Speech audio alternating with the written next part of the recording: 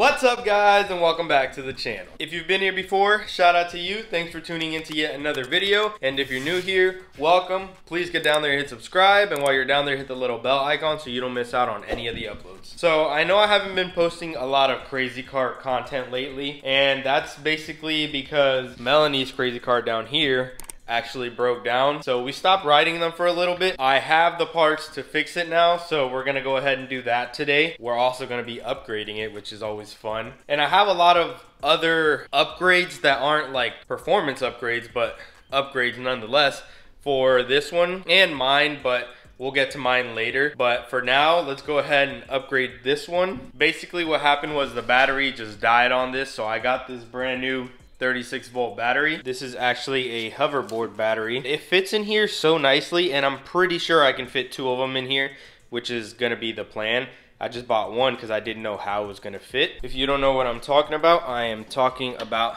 these batteries. So we have two of the 36 volt batteries in this crazy cart. So I think the end goal for this cart is to have the same setup, two of the batteries. But honestly, ever since doing that one, the prices of these batteries have more than doubled. Like we got those for I think 25 a pop. I got this one for I think $57. I don't remember, but I know it was a lot. So I don't know, maybe if the prices do dip again, I will definitely buy another one for this one. I'll buy two for that other cart. For now, we're just gonna go ahead and leave this one on here, see how it performs. Hopefully it doesn't die too quick. But basically, after putting the 36 volt battery in, I think I fried the controller because it only runs for about 10 seconds at a time and then it dies. So kind of crazy, but like I said, it runs and then it dies and all you have to do is flip the switch again so it'll be on, it'll run, and it'll die. So you just gotta turn it on I mean off and then on again and you're good to go for another 10 seconds. So to fix that, I got this 24 to 36 volt controller. It's an overvolt controller from Fast Scooters out in Sarasota, Florida. If you guys need one of these, I will put the link in the description and you can order these off of eBay as well as the batteries. I'll leave a link to those as well. So we're gonna go ahead and swap this out and hopefully everything works. So I took the covers off. They go basically a bunch of screws all the way around on both sides and they just pop off. And I was gonna start putting the new controller in, but then I remembered I haven't shown you guys what exactly is happening. So I even got it unbolted, but I zip tied it on for now because it's way easier than trying to line this dang thing up. So let's go for a test drive. So we're gonna go ahead and turn it on and press the gas and see how far we get.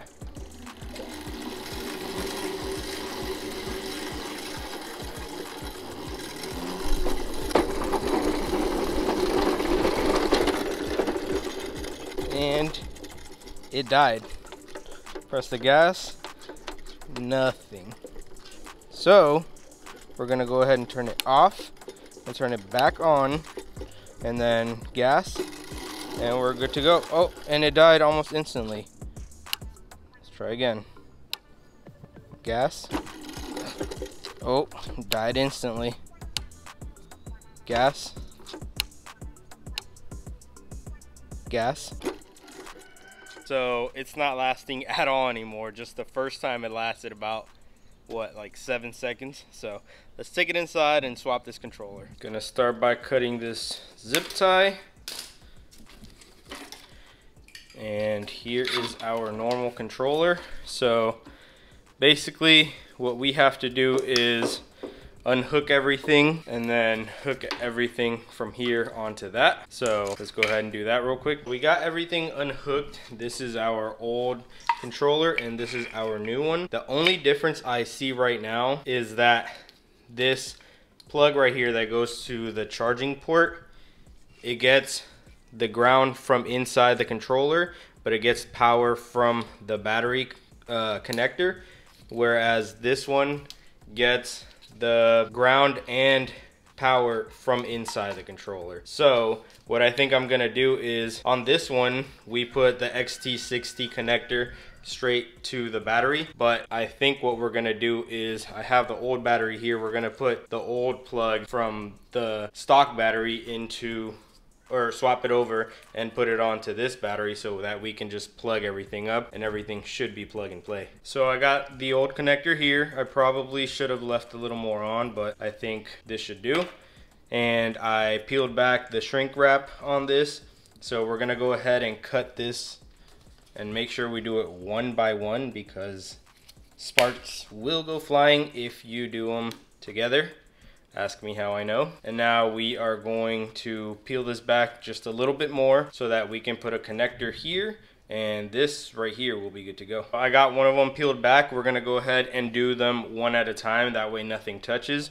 We're gonna go ahead and use our connectors here. I love these things.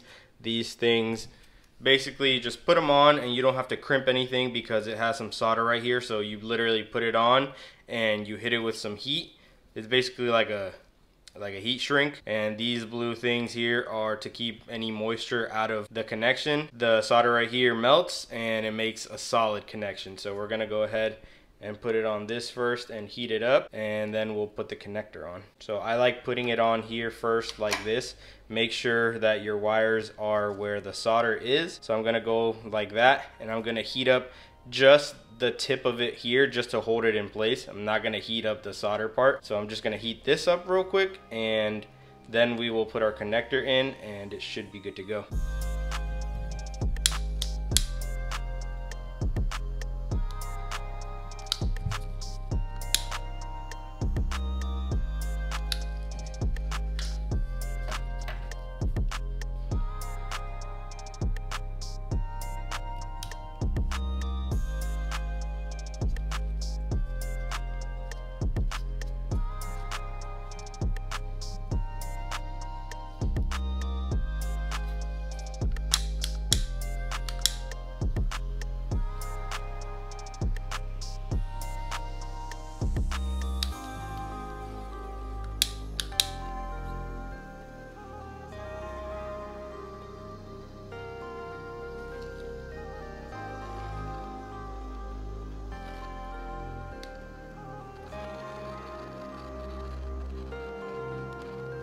So now that we got our battery connector put on, we can go ahead and start hooking everything up. The cool thing about these is that they come marked already. So this says direct to battery. So we're gonna go ahead and plug this one into the battery.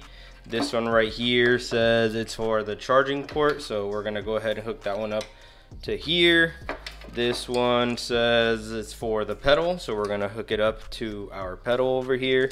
And then these two up here just go right up here where the other ones came from.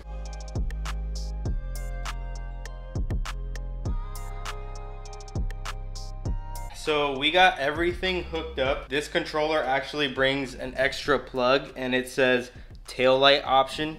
So I'm guessing it has its own power and ground and when you connect it you can run some lights. I do plan on doing some lights on this crazy cart but I'm gonna run it off of a separate battery. But I think I have an idea of something else that I can wire to this, which should hopefully happen very soon. Like I said, I have the stuff, so I think once I know that everything is good and running as it should, then I think I'm gonna go ahead and dive into it. So make sure you hit that subscribe button so you stay tuned for that. But yeah, I have it zip tied on here right now. I don't know how I'm gonna mount it because the mounting points are different. I think I'm just gonna end up leaving it zip tied for now. Obviously not like this, this is just to test drive it real quick. But let's take it on a test drive and see if it'll run for longer than seven seconds. This cart is so uncomfortable for adults to drive because I have the custom bracket that I made for Melanie's car seat. So it's up higher, almost like two inches, and forward almost another two inches. So it's very uncomfortable. But let's go ahead and hit the on button and let's go for a drive.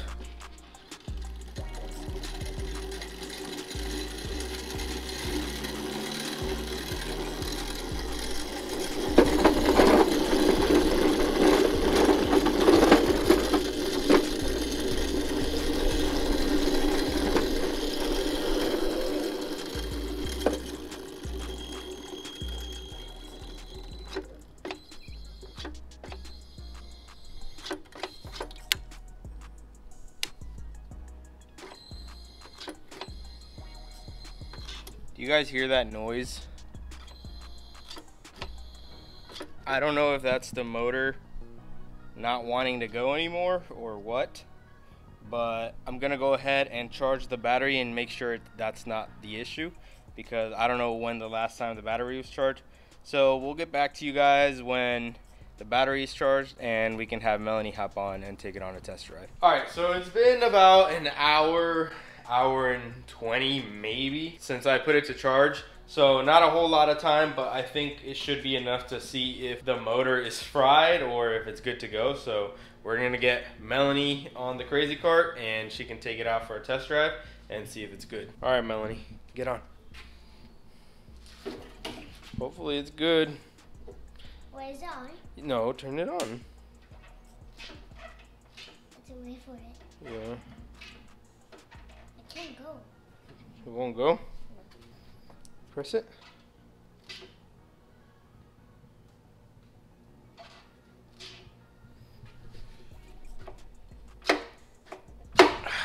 Okay, so now it's not doing anything. I don't know if maybe it's the uh, pedal itself that went bad. I don't think it did. What I'm gonna do is swap pedals from one cart to the other, see if that helps. If it does, then I know I need a new pedal.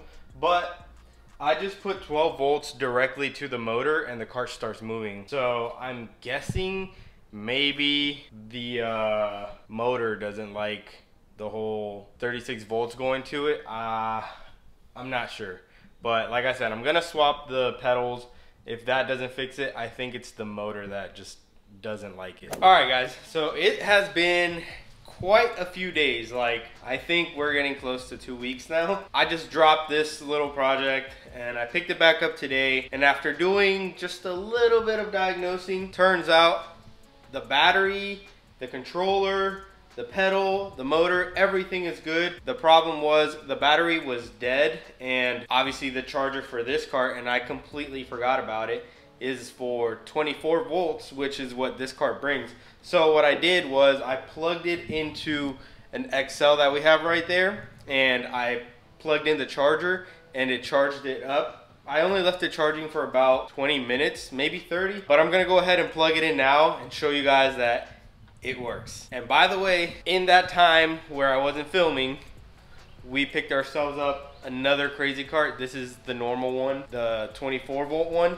So what's going on with that is that it needs a tire, which is super cheap, and it needs a battery as well. So we're gonna go ahead and do some like crazy custom stuff with this cart because we actually got it for free.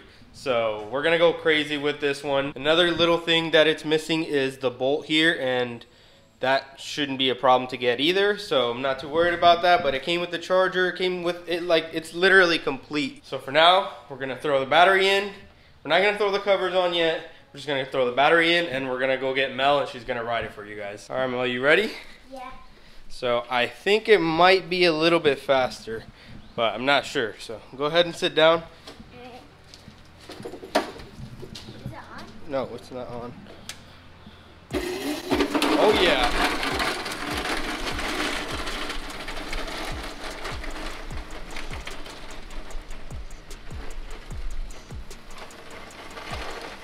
It's faster, right? I think so. Yeah, it throws you back. Look, press it. Yeah.